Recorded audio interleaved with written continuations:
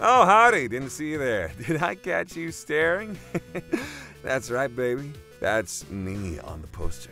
Pretty cool, huh? I mean, it's no big deal. I'm just the lead star, lead writer, and executive producer of this humble little horror flick. You can call me Axel. Catch me on Axe to Grind, the next Dead Estate free update. What, what does that mean? Oh, that's it? You sure? I, I, can do another take. I, I, I, I can do accents.